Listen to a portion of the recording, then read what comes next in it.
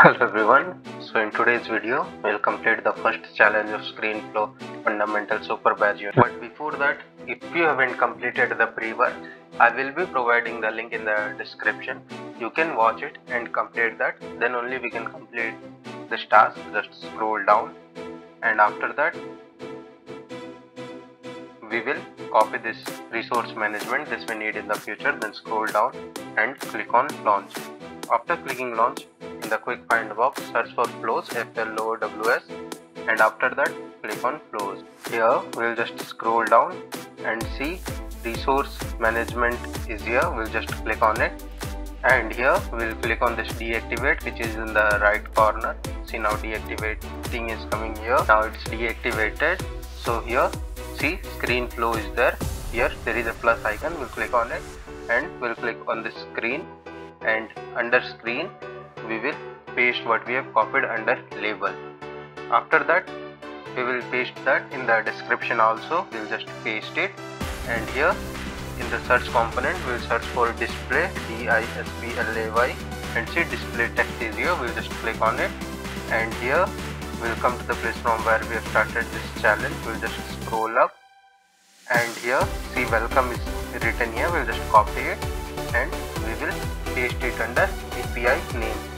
After pasting, we'll just come to the place from where we have started our challenge. We'll copy this welcome to Hive Foundation. We'll copy this and we will paste it here. After pasting that in the search component here display image is there so we'll just click on it and see display image has came here now we'll come to the place from where we have started this challenge and see hive logo is there we'll just copy this and we'll paste it under api name. After pasting under api name again we'll come to the place from where we have started this challenge and see hive foundation logo is there. We'll just copy it and we'll paste it under image name. After pasting under image name we'll again come here and we'll copy this hive logo and after that we'll paste it under image alt text. We'll just paste it. We won't click it and we'll scroll down and see image width is there. Here we'll just type 80 percent. We have to type it.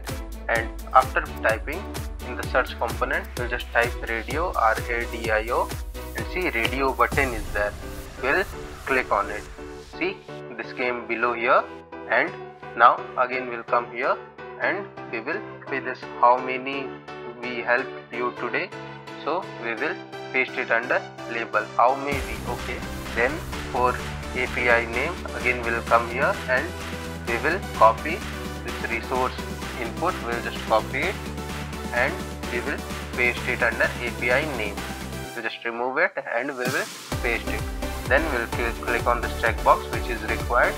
And after that again we'll come here and we will copy this formula type which is start new resource request. We'll copy it and scroll down here and see choice is there we will paste it.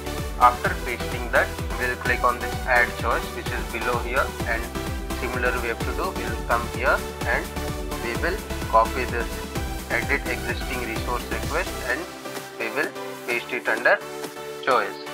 After pasting under choice here in the search component we'll just type text text and see text came here. We'll just click on it and after that we'll come here from where we have started this challenge. And we will copy this it resource name. We'll copy it and we will paste it under API name. After pasting under API name we will write it in the label resource name R E S O U R C E N A M E. It should be in small letters. And we'll scroll down and see component visibility is here.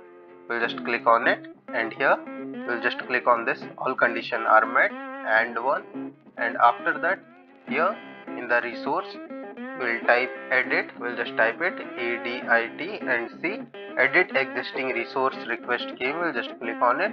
And operator should be equal. Now under value we'll just type global.